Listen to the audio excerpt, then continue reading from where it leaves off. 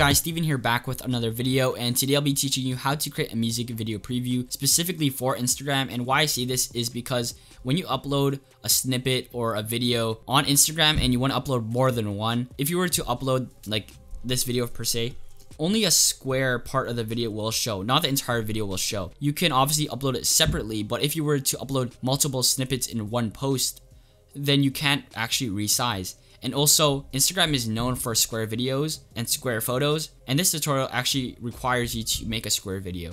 Along with this, I just recently worked on my first music video, and after talking to the artist, it became apparent that promoting your videos was very important before and after it was out. So snippets and previews is just one way to do this. And Instagram is a place you can promote that sort of stuff, so I thought it'd be suitable. One place you can see this is in WorldStar. They upload a lot of music videos for artists and stuff like that. And it kind of gave me the inspiration to make this video. So the first thing you want to do to make it a square video is just import your video, your music video, go to sequence settings, and then make the frame size 1920 by 1920.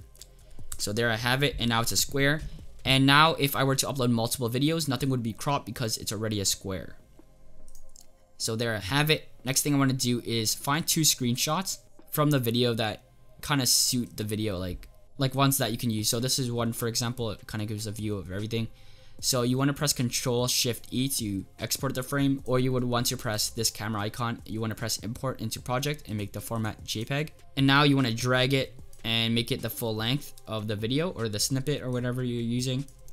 I'm gonna drag the crop effect on there so you can see where to add it. And basically, this photo is gonna cover one of the black spots right here. So one of the black bars.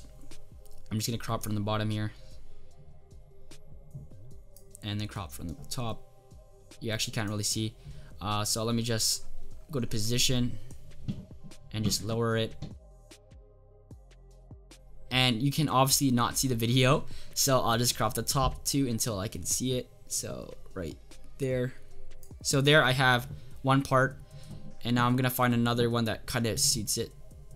So like this looks really cool I'll export this as well. And one thing you'll notice is that it'll actually export both of the photos which is you know kind of weird but uh, you want to just position this higher now just to the top and now you want to crop this so that you can actually see the video. It's not really a problem, it's just really confusing how they do this, but there, and I just want to crop it at the top. And there you have it. This obviously wouldn't be like ideal. It kind of looks a bit weird, right? You have to add some sort of effect, right? I'm Steven Van, I add a lot of effects, you know? So one thing you can do is, first of all, you can make it darker. So you can add like brightness and contrast, and you can just make them darker which I think is really clean. So if you go down here, you can just make the brightness lower on each. So like negative 100 on both. So let me just go down here. So like negative 100 so that there's more emphasis on the middle.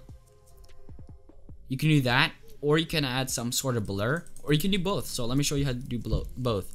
So I'm gonna go to blur and there's a lot of blurs so you can go to video effects and you can choose directional blur, Gaussian blur. I'm gonna do directional because directional seems cool.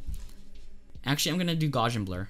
So I'm gonna delete this because I don't need that. I'm gonna make the blurriness like that much. Not so much. I'm gonna make it vertical. Actually horizontal. Horizontal looks better. And by doing horizontal, none of the blur is gonna leak onto the video because the video is under it, not beside it. So I'm gonna make it like 50 and I'm gonna add it to the layer here as well. And I'm gonna make this 50 as well. So now that you have those two things down, what you can add next is the title of the music video. So I'm gonna go into title and actually Adobe just updated Premiere Pro, which I really don't like because there's no title under here anymore. So what you want to do is go into File, New, Legacy Title, and then you want to add your text now.